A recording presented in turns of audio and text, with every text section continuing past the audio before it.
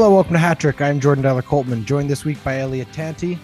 Braden is not with us. We're kind of trading off. I get each of you now kind of like one on one every other week. This is great, Elliott. It's been a couple weeks. How you doing? Happy New Year. I mean, the real question is, how do you know we're not just the same person? I, I don't, I suppose. It isn't. it, it is an audio medium, so uh, you could be distorting your voice. I I I wanted to ask you this because I I know I just led with it and I said Happy New Year, but like, what is the cutoff? When can you when do you have to stop saying Happy New Year?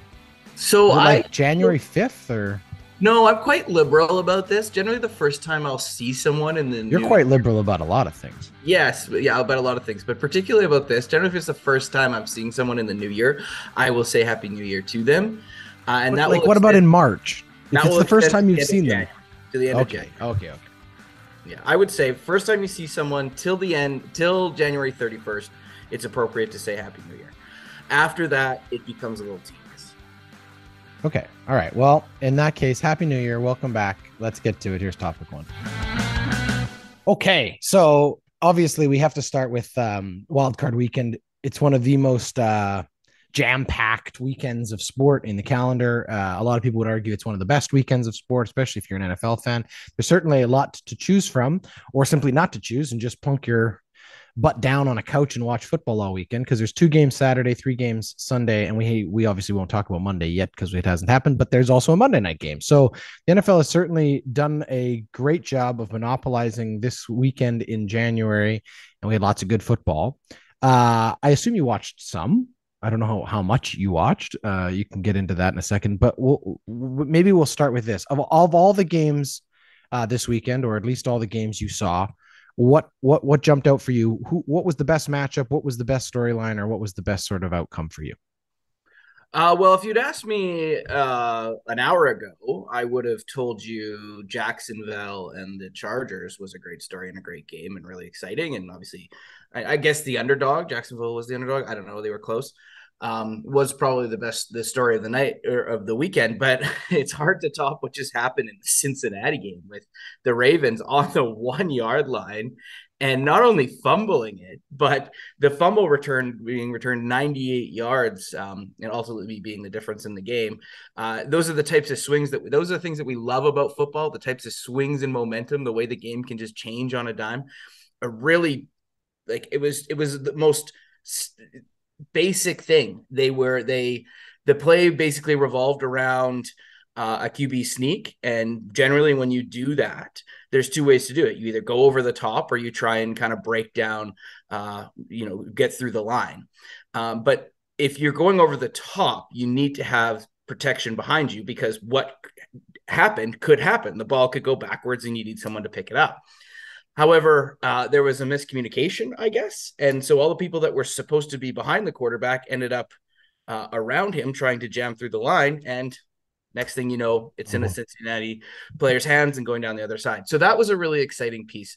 Uh, two things I want to touch on that you sort of one you raised and one just to continue on monopolizing this weekend. It's so great that we don't have to choose between games. I think it's really smart what the NFL has done here. You're starting to see them sort of creep into Saturdays, and I wonder if that's not something that we're going to start to see more and more. Of course, I'm you know they were impacted by Christmas and the holiday season this year and New Year's, so that certainly had an impact on it. But Saturdays seem to kind of work for the league, and uh, on a weekend like this, where you can just literally watch every game, and that's all you have to do. You don't have to choose. For football fans, I think that's a great thing.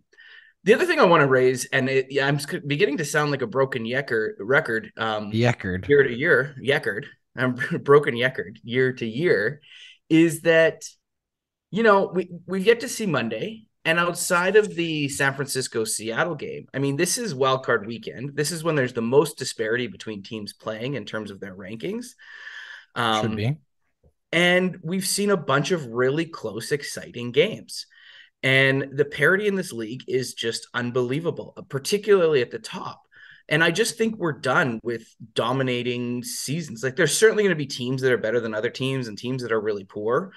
Um, but when you get into the upper echelons in the playoffs, the NFL is just a really exciting league to, to watch because everyone is so close. And on any given Sunday or Saturday or Monday or Thursday, any team can win. And I think that that's really exciting. I think it's great for the betting markets and that whole new market, but it's also just good for the game and, and, and great for the fan. So that's my takeaway from this weekend.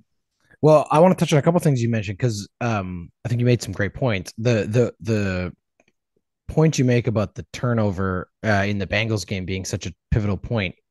I mean, that is what this weekend's all about. It, everything is the margin for error is so small. And occasionally, sure, you have a big, you know, one team gets out to a big lead. Look at the 49ers game. You know, they they dominated in, in most facets of the game, but the rest of the games were actually quite tight. You got a 34-31 win for the Bills over the Dolphins. That also includes a miscue where the coaching staff thought they had got the first down and thought it was first and 10 and sent out a package prepared for a first and 10 play when they actually were fourth and one. So complete you know self-inflicted uh, mistake there that cost them dearly. Um, and obviously the emotion of the bills and all of what they've been going through for the last couple weeks sort of becoming america's darling team uh, and they get the win there but it's not it's not a easy one for them. And then obviously the comeback, you've got the 27 point deficit that the Jaguars overcame, becoming the third biggest comeback in playoff history for the NFL. That's a huge one. Um, I was watching the Oilers game Saturday night and sort of flipping back at the commercials or at the intermissions to sort of see how this game was going. I just happened to flip there early in the fourth when the Chargers had an opportunity to go up but or to increase their lead. I think at that point it was like 30, 20 something. And they had uh, a chance of a field goal from like 30 yards out and missed. And uh, Larice and I both looked at each other and went, well, I wonder if that'll cost them later. And of course, they lose by one. So that was a huge uh, uh, missed opportunity. But they also blew a 27 point lead. So it's not like one field goal was going to be the difference there. Uh, and then I think it's also great to see a team like the Giants, who have been kind of a bit of an up and down team, go up against a team that's been really strong in the Vikings. But that's what's fun about this weekend. There's so many storylines, there's so much drama there. We've got a huge matchup tomorrow in, in terms of like name and marquee when you've got the Cowboys, America's team versus Tom Brady, you know, America's quarterback. So um, all of that's there uh, and a lot of fun. So, you know, I think football does that. I wanted to touch on what you said about Saturday though, um, because I think it's interesting. You're right. The NFL's very good when it goes on Saturdays, but it's also pretty good on Thursdays and it's great on Mondays. And it feels like we're very slowly, especially with the number of weeks now that exist in the season, with the number of broadcasters and streamers that all want a piece of this action, with the like never ending, you know, cash cow that the NFL has become for so many other uh, of its partners. It feels like we're not far away from football every night of the week. And I could see that happening where we start going, all right, well, the Monday night kind of creeps into a Tuesday night game a couple of times this season. And then maybe we do a Wednesday night special thing. And then slowly we just kind of accept that we're just going to play football every day of the week. And I don't, I don't think that that's necessarily bad business for the NFL. They certainly would have eyeballs on their TVs and on their streaming platforms and whatever else. You're going to get, you know, the, the NFL package or whatever the the red zone or whatever the pack i can't remember the name of the bloody thing or whatever on youtube next year instead of on um, on DirecTV or whatever the previous one was. So the the the sunday night ticket that's what it was. So you know you're going to have all this stuff sort of moving more and more into the streaming world and into sort of surrounding your audience and every single part of how their media infrastructure uh, exists. And i think that the nfl just slowly knows that as a brand they have they're pretty much untouchable when it comes to making content and people consuming it. Nothing's going to really so far very little of what they have tried has failed you know? Even these games in europe or these games in mexico they still make a lot of money doing them even if you know not everyone's a huge fan of it. So um, they can do no wrong business wise right now. Well and i think the only thing that the only criticism that the nfl's really faced from a broadcasting standpoint uh, in over the years is generally the Thursday night matchup tends to be kind of terrible. And we saw that again this year. Like the first six to seven were like t- either terrible games because the teams were terrible or the scores were terrible or the weather was terrible. And when you start to diversify the nights that you play, you start to move away from that reputational hit, whether that's true or not. The Thursday nighter always gets kind of cast as like it's going to be a shitty game. And uh, so, uh, you know, I wonder if that's not motivating their decisions as well, too, from a reputational standpoint, because that is something that we fa- we saw again this year, but has been a long time coming, and we've been talking about that for a long time. So yeah, smart business and smart smart marketing, and um, I mean it's hard to argue with the statement the NFL is the most entertaining league uh, of the big four. Well, it's certainly it's certainly the most successful when it comes to how their product is being consumed en masse and they figured out the gambling and they figured out all of the the tertiary businesses that are all surrounded around it. Let's really quickly play a, a, a, fun little game of what's coming next. We obviously don't know the outcome of the cowboys bucks so we'll leave that game. The winner of that game will face the 49ers next sunday uh, in the afternoon game Let's go through the other three matchups we do know for the divisional round, and you can just give me a quick sort of hit on each one. Whether you want to pick a winner or not is up to you. But just what do you think? We've got the Jaguars Chiefs. Obviously, the Jags coming off a huge win. You got Trevor Lawrence up against Patrick Mahomes. That's the first game up on Saturday. Thoughts on that? Yeah, I think it'll be a great game. I, I, I mean, I think Jacksonville has kind of gotten um, this is good for them. This is good. They're they're a young team. They're a growing team. I think getting to this stage and playing that caliber of team on this kind of stage is going to be good for them. Do I think they're going to win? No. Kansas City is a better team. Uh, they've been there before. You can never bet against Patrick Mahomes in that offense. I understand it's not what it used to be, but that's still a good team. Uh, I'm sure that they are going. The odds makers are going to be giving uh, the edge to Kansas City in that. And it'd be really hard to bet against them. But I really like Jacksonville, and it's certainly a team to watch into the future. And uh, I had Trevor Lawrence in my fantasy this year, and he was very good down the stretch. Uh, certainly someone to watch. Uh, following that game, 5:15 p.m. Saturday, if you're on the Pacific Coast, you've got the New York Giants and the Philadelphia Eagles. So a big New York Philadelphia matchup there. Obviously, Philly winning the division, so that's a big game. What do you think? Do the Giants have a little bit more magic in them? Can they can they compete with what the Eagles have had? And obviously, the Eagles giving Jalen Hurts an extra week to rest because they got the bye. Maybe uh, we see a little bit of that sort of Eagles magic from earlier in the season back. What do you think? Yeah, it's interesting. They really they kind of fell off a cliff. I know some of that's that's injuries, some of it's they didn't need to play all their best players. I always am hesitant though. We saw this to start the season not a lot of teams played their best players through the preseason. And arguably, the first couple of weeks of the NFL season were kind of terrible. And I know teams are going to be reevaluating this year, uh, that next year. But I wonder how, if you haven't played a meaningful game for a long time, that seems to disproportionately impact NFL teams compared to other sports. And so, my only question is Is Philadelphia going to be up and ready for this game? They should be favored. They are on paper the better team. But you just wonder if you haven't played meaningful football in what, like a month, is that going to impact you? It could. And so that's one of the things I could be watching for. And that could be a really close and exciting game because.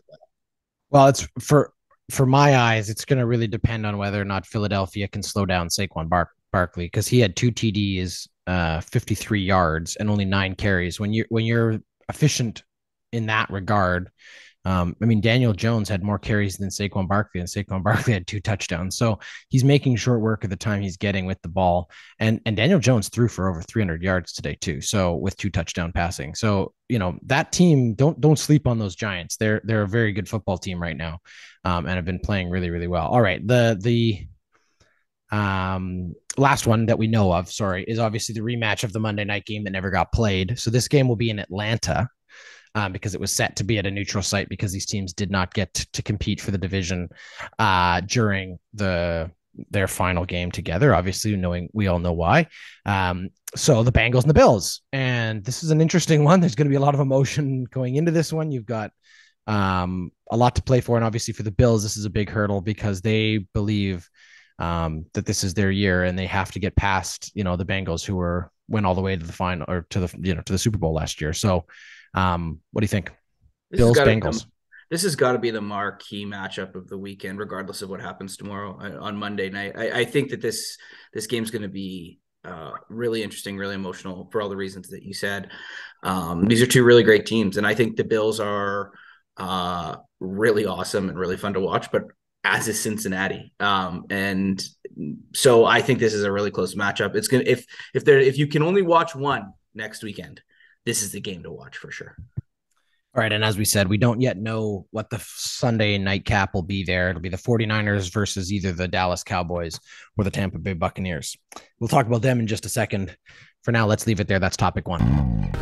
Okay, Elliott, it is time for our pick of the week presented by BetStamp. BetStamp is your one stop shop for line shopping, bet tracking, and sports betting odds. You would never just go with your first place, you uh, the first price you find when you were shopping for flights. So why would you settle for the first odds you find when betting?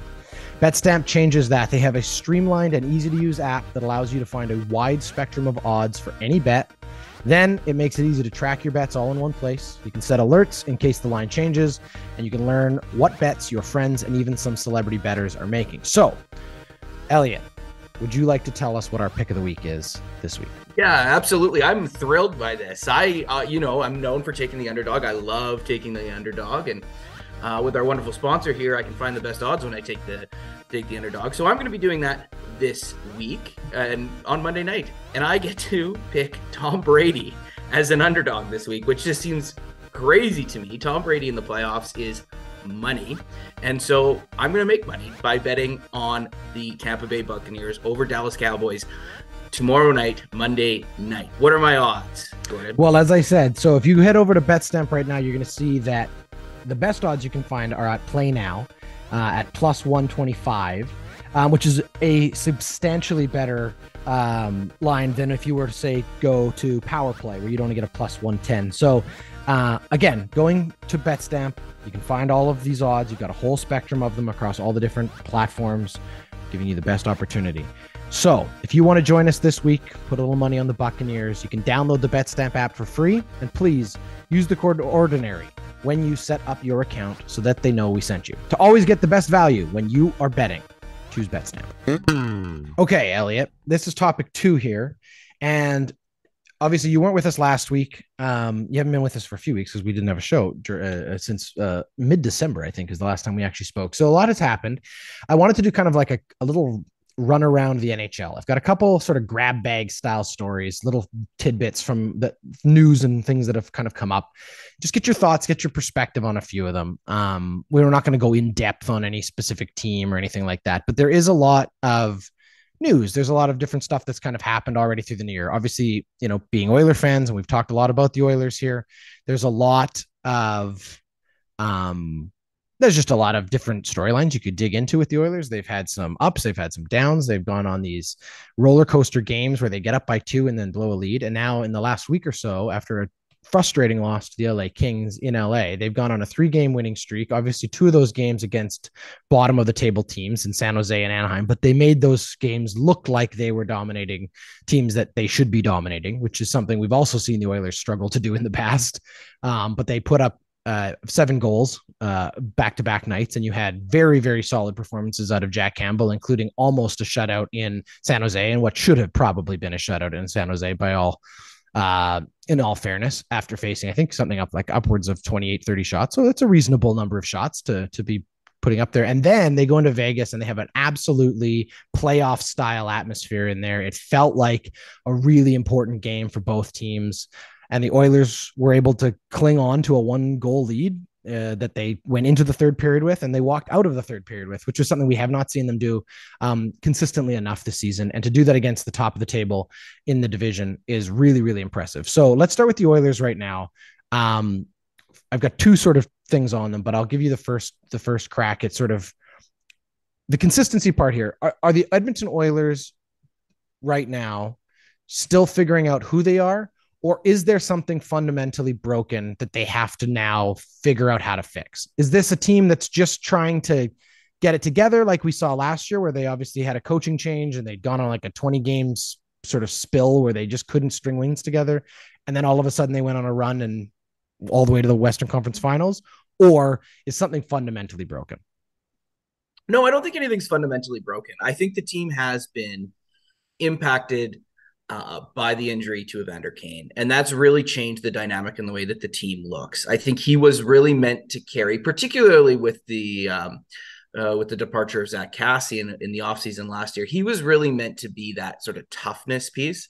Uh, and and and obviously, you know, he's a top six forward, and we all saw what he did when he came to the team last year. Like he, he is a dramatic impact, uh, and and had a dramatic impact to start the season too. And I think that we haven't taken into account just how much of a loss that is for this team. Uh, and you know, I know we can always point to you have Leon Draisaitl and Connor, Connor McDavid and Nuge is a 20 goal scorer this year. Um, but there is still something missing there. And I think the team's been just out of sync because he's not there and they don't have that consistent player there doing, you know, the things that Evander Kane does. So, do I think anything's fundamentally broken? No, but I do think that that that piece has been really missing, and they've really struggled to find a consistent game around it. When they do play the kind of hockey that they can play, they can do amazing things like beat teams 7 1, 6 nothing, or 6 2, um, and got out really difficult wins against really difficult teams. You mentioned Vegas, but there was also a game they won 2 1 against Calgary a couple weeks back that was a real mature effort. And that's again against a team that they're going to come up against if they intend to win the division and go um, on a run again this year. So there is the capacity there to do it. Uh, if if the, if it was fundamentally broken, I don't think you'd be seeing those wins. I think they're starting to put it together. This team has traditionally been better after Christmas. Uh, their stars, if you can believe it, uh, have traditionally been better after Christmas, particularly Connor McDavid. If you can get even better than he's already is, he's on pace for like what, 70 goals this year, 68 goals, something like that. So, yeah. you know, there's lots of reasons to think that they're going to put this together and figure it out. I don't think it's a fundamentally broken thing. I think it's just they've been struggling to find their identity as a team with, with some so, pieces. So let's jump to another piece of that to ties into that, which is another one of these notes I wanted to sort of pull out of the bag here. So yes, I think the Oilers are struggling without uh, just the the the multifaceted style of hockey that a guy like Evander Kane brings. He's an offensive power forward who can be physical in the corners, who can muck it up in the circle. You know, he's not afraid to throw his body weight around or his fists around. He's a mature player in terms of the length of time he's been in the league. He makes for the most part, pretty good decisions out there. He's certainly an energy guy that this team seems to feed off of. And obviously, you know, what we saw from him last year at his best is an incredible asset for the Oilers to have.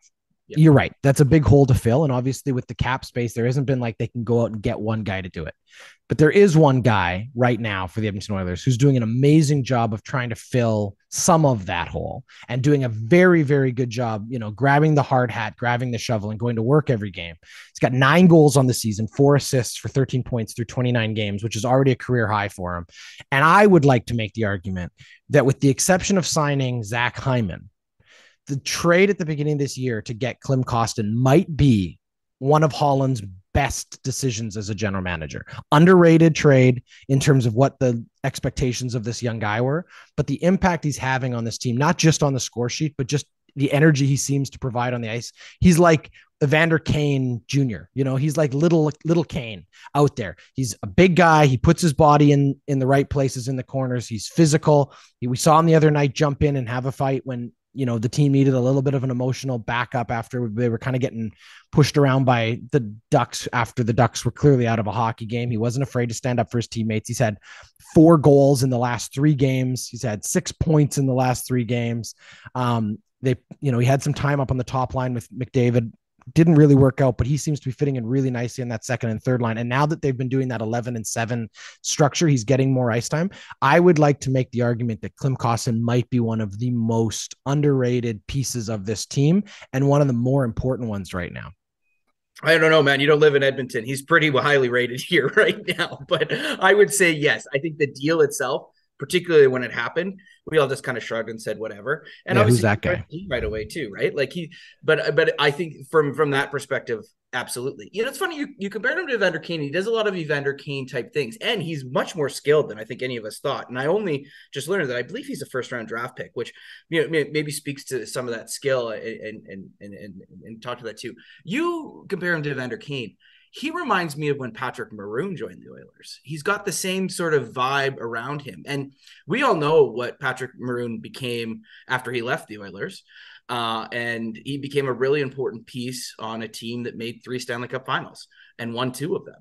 And I think he's the type of player that you need that that middle, you know, top nine, I guess you'd call him the top nine um, forward that can hit and play, score uh, changes the changes the uh, the momentum of games, and he's been a, a, great addition. And he's made a case. You know, I believe he's free agent this year. So whether we're able to keep him or not is another question. But um, at least right now, you have to be really pleased with what he's brought to this team. And I, yeah, I think underrated for sure.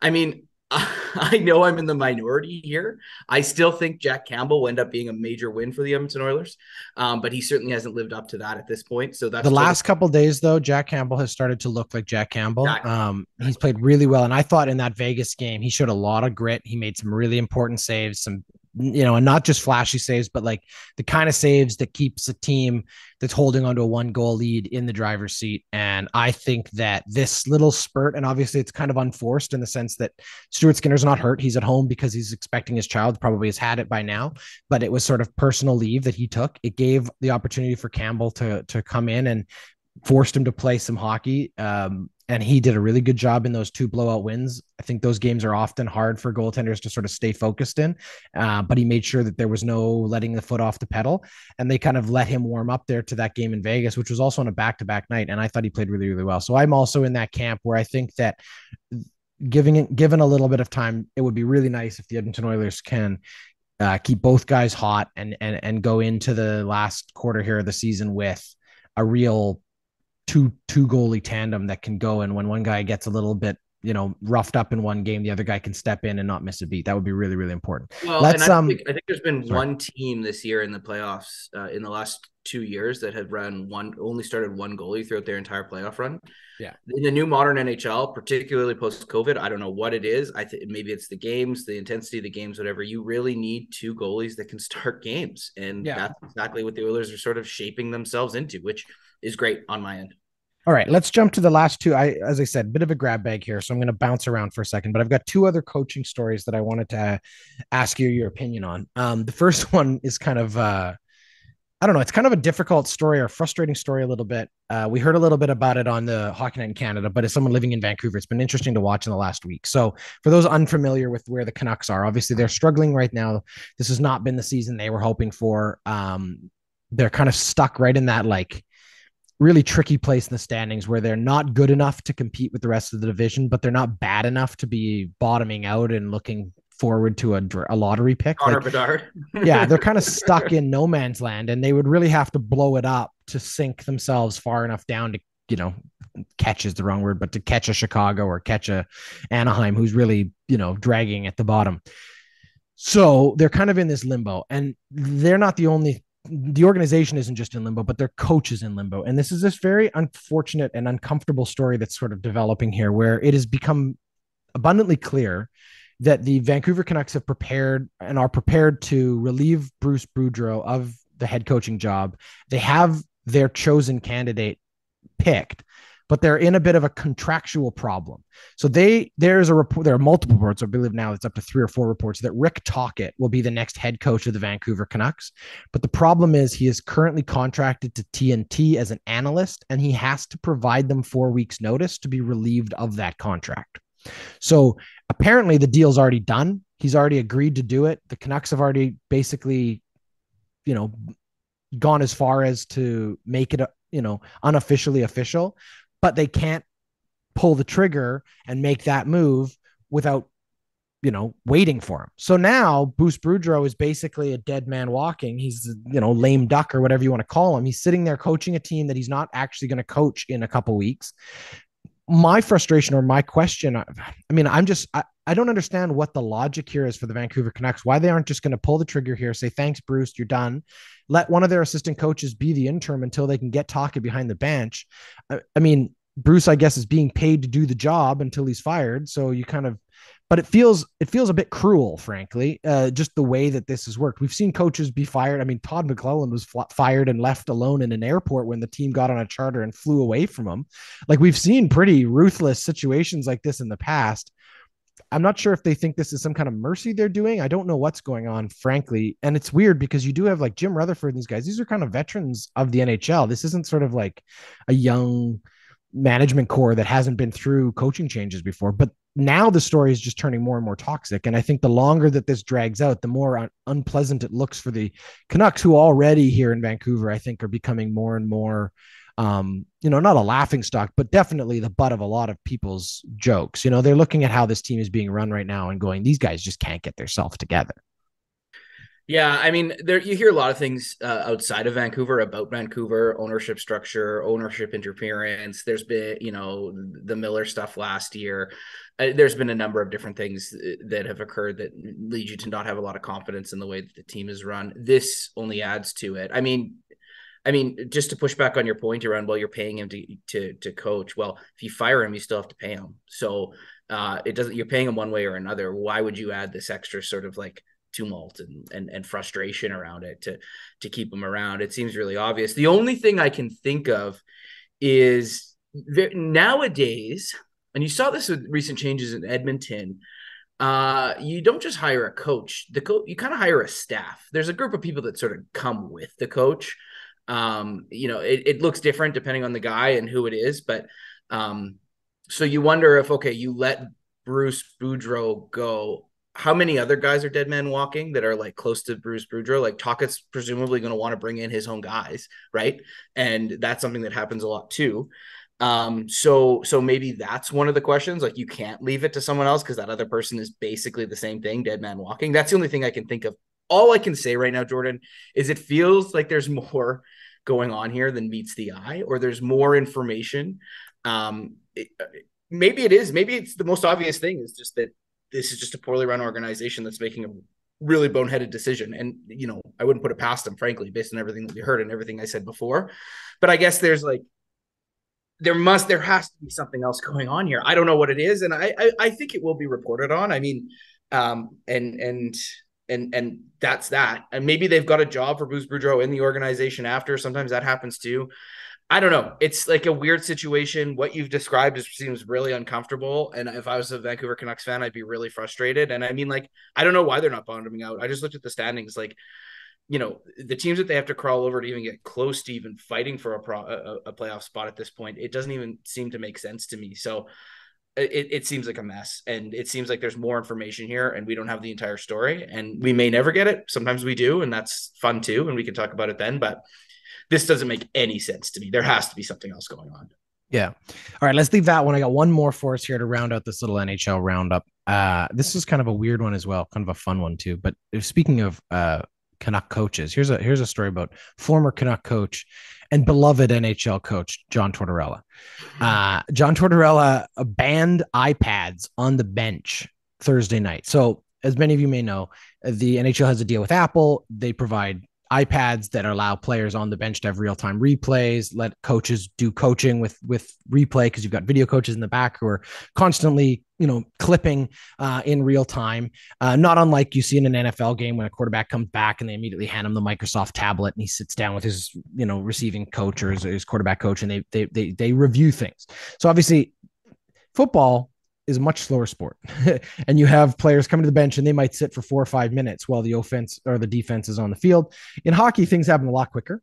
Uh, so it's tricky, obviously, to be doing the real lifetime replay review video coaching. However, John Tortorella has decided that that will not be the case on the Philadelphia bench anymore, and he has banned the iPads. They removed all of them. Uh, he even said in the press conference if he could have, he'd be removing the uh, screens that are down by the coach's feet. You probably see every time there's a video review going on or a coach was looking to see if they should challenge for offside or anything like that. He'd like it all gone hockey moves too fast. He says he wants to go back to when the players had to be in their heads thinking about the game and not trying to quickly make decisions based on video. Uh, he says there's a place for video coaching. It's in the room, it's not on the bench. Now, here's what's interesting. Uh, first, he called out a very specific player. He said Thomas Konecny or Travis Konecny was the number one culprit, um, which of course led to him getting quite uh, viciously teased and people making these little super cuts of every time he was sitting on the bench with the iPad and then, you know, memes of him playing, you know, Candy Crush or whatever else on the bench. Regardless, here's the thing. They they are on a um they've won 6 of their last 7 games. He removed them on Thursday. They won 4 nothing over Buffalo. And then they went on a 1 4 1 against Washington. So it's working. Clearly, it's working. What do you think of this story? I the iPods on the bench have never made any sense to me, particularly for players. I mean, for coaches, you want to look back on a shift. Maybe you missed a guy, maybe you didn't see something, and you wanted to understand how a play developed and where the mistake was, so that you can make a lineup change. I actually think that's great. But players looking at a uh, at an iPad or their last shift, like doesn't it, it, it like like John Tortorella said, the game moves too fast but also the game is not like set up. Like sure you play systems and you do cycle and you know there are sort of a few set plays sometimes off the draw and things like that that you can kind of build into your game and maybe on the power play. But the difference between that and something like soccer or football where you know you can learn a lot from the way the, the coverage schemes uh, that that teams are deploying um, uh, against your offense. Similarly, the, the the schemes that the offense is playing against your defense, you can start to see where tendencies are, and you can start to build up things. What have they changed? What's the change in the game versus what we saw in the pregame film, seeing up to that? What does it mean when there's three linebackers versus two in this set package? Football, that is football, and that that makes sense to me. Similarly, in soccer, there are uh, the, deployments of players that shift and change and strategies that change. You see, the Canadian team does this all the time in terms of how they press on the left side or the right side and where Alfonso Davies is. And having that information in real time could be really valuable. But hockey just doesn't seem to make sense to me. And if it's a distraction, if you're not focused on the game and what's happening in your next shift and uh, the players on the ice and your opposition and you're looking down at iPad on your last shift, I, I, I I don't think I hate it. I, I really don't think I hate it. Uh, John Tortorella is a pain in the ass. I hate being on the same side as him on anything, but uh, on this one, I it uh, it makes sense to me. Honestly, it does from a player's perspective. All right, let's leave it there. That's uh that's topic two. Hey, if you're a fan of Hattrick Sports, then I promise you, you're going to love the Backyard Basketball Podcast. Hattrick's very own Braden Dowler Coltman sits down every Wednesday with his best bud, Christian Steck. And together, they break down all the news, rumors, transactions from around the basketball world. Whether it's the NBA or college hoops, these two guys love talking basketball, and you are going to love listening every Wednesday on the Backyard Basketball Podcast. Topic three um, we're going to leave the field we're going to leave the ice. We're going to leave the court, and we're going to go uh, into uh, uh, the digital world here. We're going to talk a little bit about the proliferation of the sports doc, sports documentaries, which of course are not new, um, but they definitely seem to be having a, re- a renaissance, if you will. And it, to be honest with you, looking at it, I think it's pretty much been going on for the last 20, 30 years in a slow tick. But obviously, the way that Netflix and these streaming platforms have um, continued to evolve their business models, the documentary has become a very va- a vital piece of their ecosystem. It, they're cheaper to make than traditional scripted television. They're um, easy to mass produce and consume, and and you can turn them into these longer series, whether it's you know Drive to Survive on Netflix, or you've seen, um, and now we know Netflix is doing a, a golf one, and they've got a, a um, uh, several other ones. I suppose there's a few of them, and then you've also got the re the re-unloading, let's call it, or the re-publication um, of these older docs that used to only get aired once a year on ESPN or things like that. Now they have a new platform, so feature docs are there.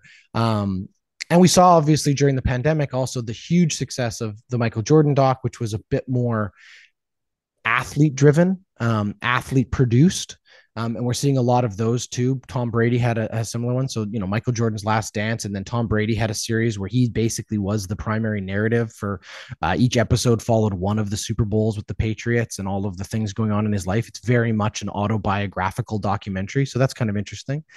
But we wanted to spend a minute to just talk about sort of like what we think is driving this and also sort of what what impact uh, is this having in terms of how you know sports are being consumed uh, I'll lead with this stat, which I think is interesting because I um, I mentioned it already. Drive to Survive, I think, is considered by many to be one of the most sort of impactful uh, of these documentaries in terms of be- being like an additional marketing tool, right? So this isn't just informational, this isn't just entertainment. It has actually brought people to a sport they didn't previously follow at all.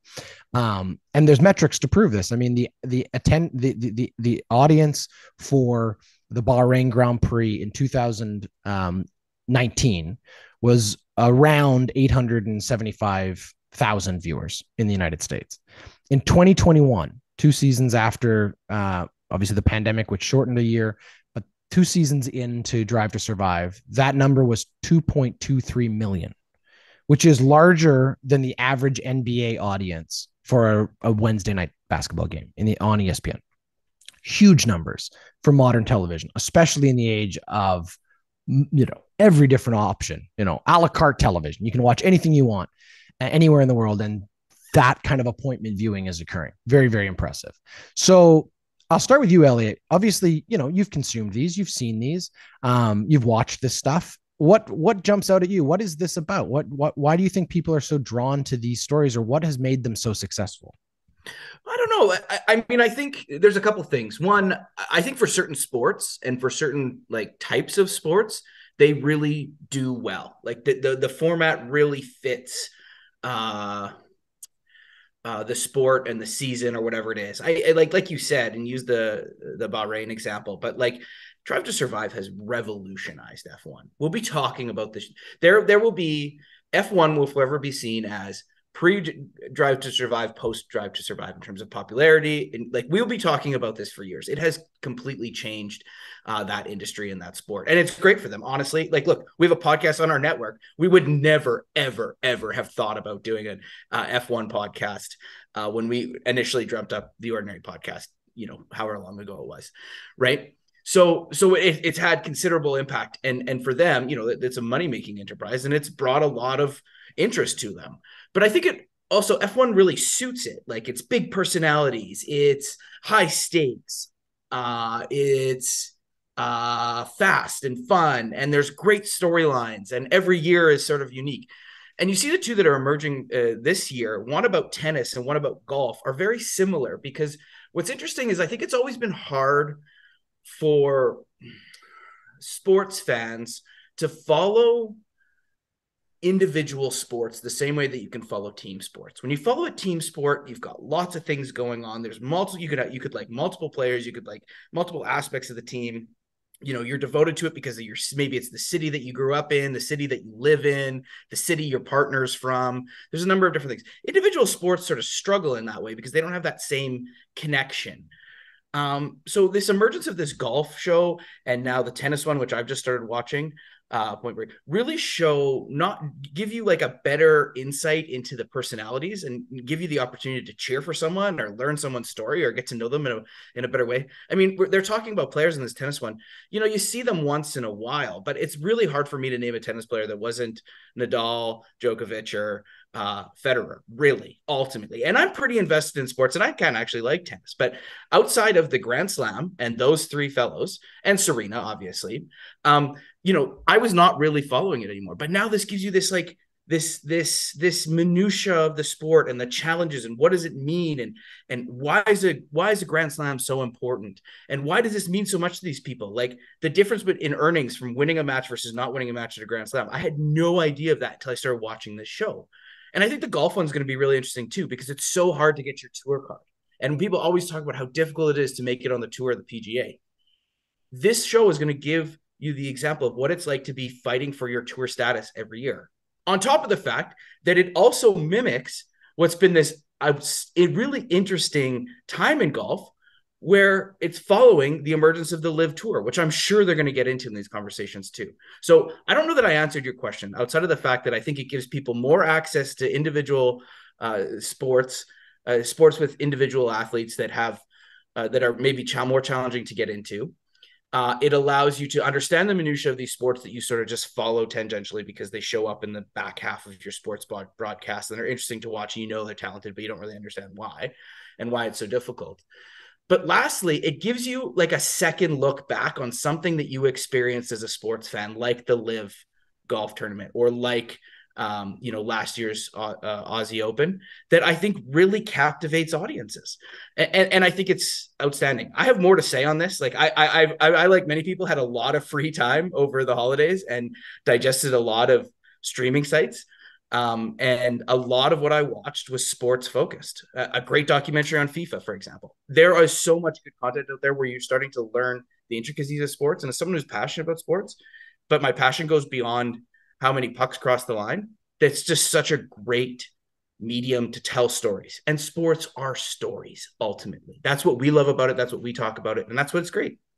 Yeah, I think I think you're right. I think what has made these very successful is that they are offering windows into something that people already consume. They are a unique perspective uh, on things that people already have an emotional relationship with, especially if it's a sport or an athlete or a team that you already are interested in. And then again, also introducing people to completely new athletes and and sports that they may not be familiar with. I I kind of categorize there's sort of like four of them. Um, four types of these things and i think that that's what's really interesting in terms of how this is structured like they really this is such an easily packaged sold purchased and and then presented kind of business model from the from the networks and from the streamers and from all of these different producers. You know, you have the embedded ones. You've got these ones like Drive Survive or the like the two the golf and the tennis one you talked about. But it's not unlike what you know Don Metz and the Oilers were doing you know five years ago 10 years ago probably 20 years ago now with like oil change where you had and that was back on network tv right? Sportsnet was covering it where you'd have you know cameras in the dressing rooms and cameras following players and you'd every couple weeks you'd have this. Hbo's been doing this for years with boxing right? Leading up to a big pay-per-view they're they're embedded. Uh and it's it's it's about uh, giving access to the fans to something to an event maybe leading up to event the hbo one with the nhl was always leading up to the winter classic right? So they followed those two teams and they got you right in there. Hbo also following the boxers leading up to it. But it you know the embedded one has had a few different iterations where you have these ones like what we're seeing now the prestige ones i'm going to call them where you've got them in there for the entire season and then the, the show comes out almost a year later like in the in the in the drive to survive. We're going to watch uh, all of these storylines we watched live during the Formula One season, you know, six months later, um, through a very specific narrative lens. And obviously, you know, editing and storytelling and writing and all of that's going to go into making each of these individual episodes unique. Then there's also the the sort of more reality TV show style embedded, which is what you know I think in many ways the best decision Dana White and the UFC ever made in terms of their business, much like Formula One, was doing the Ultimate Fighter, where they created a reality TV show where at the end of it, you guy, you know, two one guy would be would given a contract, he'd, he'd, he'd get to fight in the UFC, and that business model worked so well for them. But it really is the same world. We're, we're doing the same thing. We're giving people access. So that's the kind of the embedded one, and then you've got these history or retrospective ones, which is really for me like the format defining piece of it was thirty for thirty, and what ESPN and Bill Simmons and Connor Schell did over there at at, at ESPN in the, er, in like the early 2000s, where you know they went and got prestige filmmakers, Peter Berg and and you know dozens of guys, and they went out and made 30 documentaries about 30 different stories from the last 30 years. Right, that was the premise. Now they're on, I think, like volume uh, five or six already of these. They've, they've they've got well over fifty of these documentaries, and they're full length documentaries that are all about events that previously happened. So maybe history you didn't know about, maybe a story you thought you knew about, you know, the Gretzky trade or you know the melee or the the malice in the palace and whatever else. And then you've got these kind of more biographical ones we were, we were talking about. Now these athletes are in on it, right? You've got Tom Brady producing his own, and and now it's about the the controlling of the narrative, about the athlete wanting to be their own storyteller, right? The same way um, we've seen, you know, autobiographies by other celebrities, including princes, where they're designing their own narrative to combat the public perception of themselves, right? Yeah. And that's kind of a big genre too. And then the last one I was going to say, although I think there's also a subcategory in that, which is like the true crime one, where sometimes we're following individuals where something bad has happened around sports. And there has been some really amazing documentary around that kind of stuff. I'm thinking of Athlete A, which is all about the the Nassar um, uh, controversy and the, and the scandal and, and assault uh, of of the gymnastics program in the United States. But the last one I was going to say is like the nuts and bolts, where you have a documentary that's more about like the minutia of how sport works or the corruption within it, and that kind of the true crime fits in there sometimes too. But the FIFA one, for example, is that. So like when you look at it, you have this huge ecosystem now. You have this huge narrative. Why does and I know I'm rambling, so I'll, I'll wrap it up real quick. But like you, I've got a lot to say on this because it's fascinating. But why does Disney invest so much money in Marvel? It's because of the IP. It's because there's pre-existing content that they know they can churn out content for people. Like they can re they can throw it in a blender and put it back out there, and people are going to consume it again.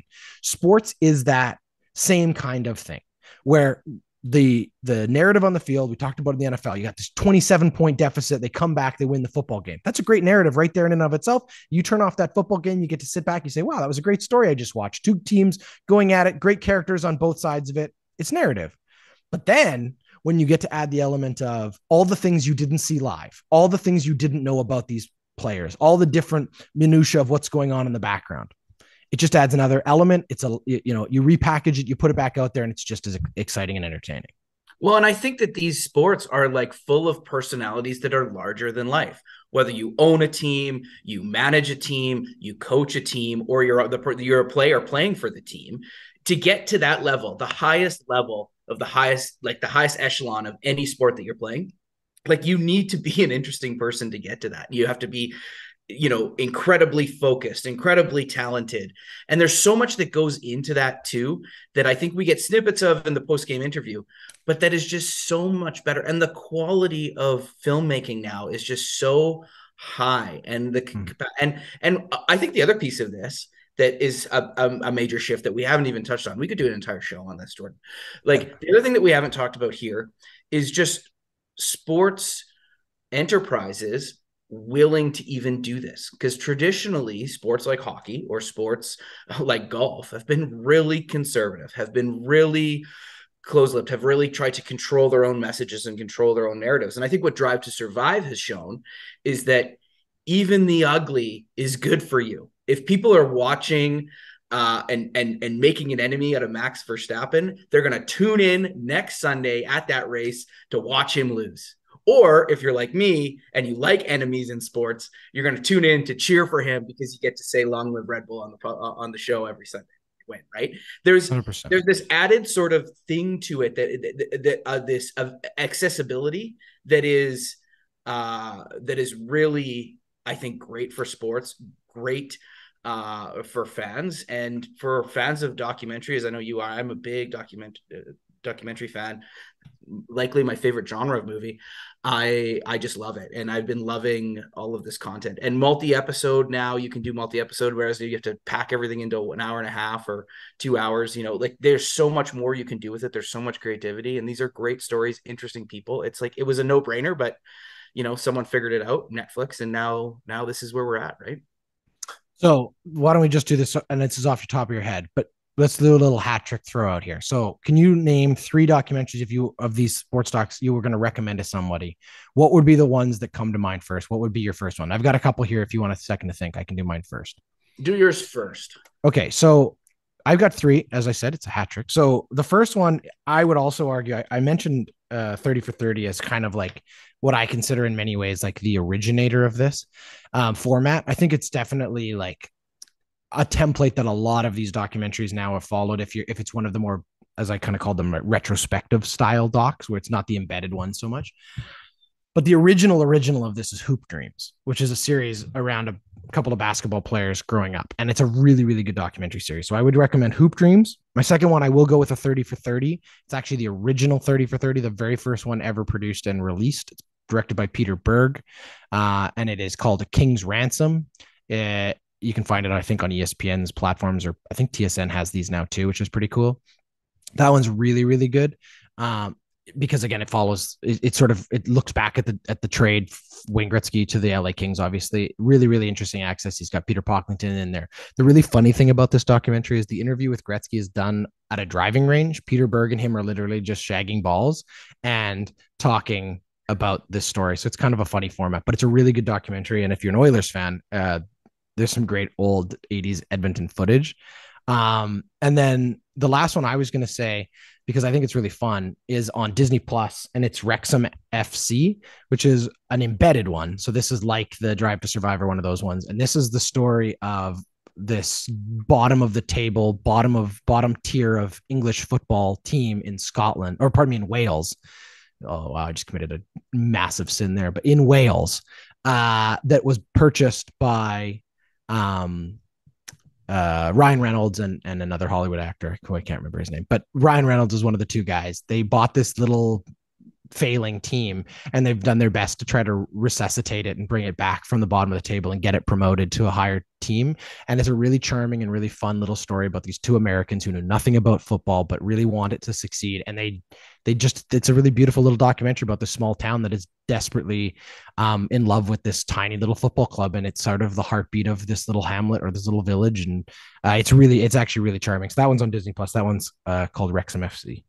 Elliot what are your three yeah, so mine are definitely a different flavor. I tend to like controversy and I love scandal, so that's where my heart goes. Um, so the first two were that. One of my favorite documentaries of all time is a documentary called Icarus, which highlights the Russian doping scandal and goes through uh, and part of it is just the access this guy gets. Yeah, um, it's phenomenal. It, it's like phenomenal. He, he speaks to the head of the Russian Anti-Doping Association that was basically responsible for uh, the cheating at the Olympics, and um, uh, the guy is basically dead man walking and telling his story, and it's it's incredible. And uh, what I loved about it, and what I love about that documentary, is the story evolves in front of the story maker or the, the, filmmaker. And so he yeah. doesn't like he's going in doing something almost completely different. Like he's touching yeah. on coping, obviously, but the, the scandal as it emerges, and he's got access to this guy because he's doing this stuff from before. It's an outstanding documentary. I think it was nominated. It may have won. won. It won. Yeah, it won. So it was. It's an outstanding piece of documentary work, and it's such. It's one of those great like the story fell into his lap, but he did everything right to make it happen. Cannot, cannot, cannot uh, speak more highly about uh, Icarus. Um, FIFA oh, Uncovered, Netflix, I, by the way. Oh, Netflix, yeah. FIFA Uncovered is the second one that uh, I would say I watched that over the holidays. My sister and I actually just finished it tonight, so maybe there's a little bit of recency bias around it, but it will make you mad. And um, so just be pre-warned it's going to make you mad. But it uh, does a great job. Again access and this is another thing that I, I, just love when filmmakers are able to get access. Sepp Blatter is interviewed. The current fifa president is interviewed. All these people uh, who are basically part of the fifa um, uh, fraud scandal and corruption scandal that occurred uh, around Qatar and, and, Russia, and, and and it does a great job. I, what I loved about it is it does a great job of articulating the backstory of how Russia, uh, FIFA was uh, created, and where in the 1970s, around 1974, uh, things change and uh, the way in which money is filtered changes. It's it's really great, and it's really I think coming out of the World Cup, thinking about the future of soccer in this world, it's really worth watching for any soccer fan, but sports fan in general too. So those are my first two, the controversial ones. The other one I really love is Last Chance U uh, which highlights stories uh, from a, a, college that is basically takes up uh, takes in uh, players that have gotten into trouble that were supposed to be college stars but have done something wrong in their lives uh, and got kicked out of the big programs. Uh, and it basically chronicles this team which is a division two school but that has a reputation of rehabilitating brands and, and images of players college players that made mistakes. And um, and basically tells a story of this team and the challenges that they face. And when you've got a lot of big personalities in the room, what happens? It also does a great job of uncovering the corruption or the mess that is the US college system for athletes.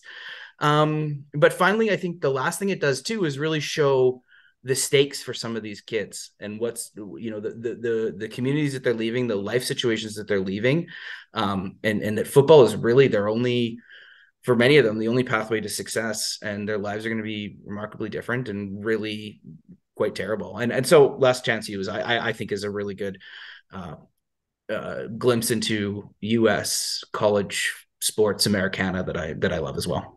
Yeah, you've given me one more here that I just want to give an honorable mention to because it's a companion to that. Uh, it's a step further back. It's about high school football. It won the Oscar in 2012. So the other one is Undefeated, which is about the Manassas Tigers in Memphis. And again, it's a very similar story. It's a down on its luck kind of high school that has a lot of uh, kids who come from a difficult background.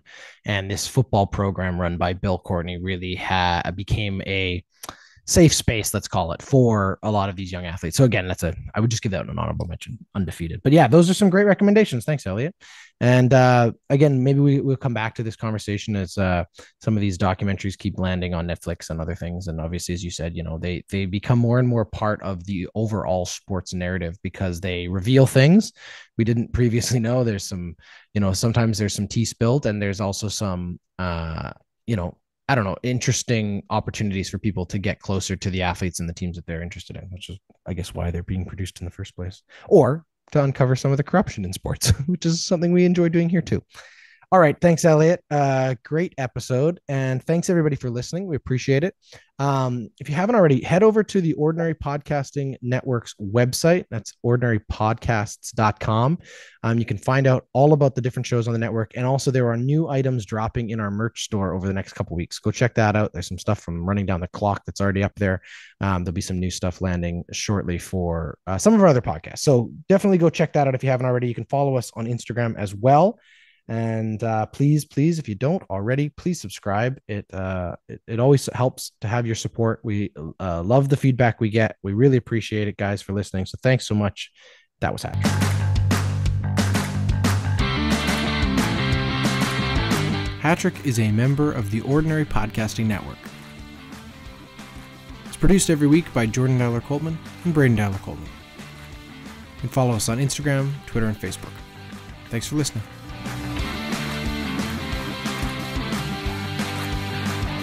Thanks, buddy. All right. Good night. Good night. See ya.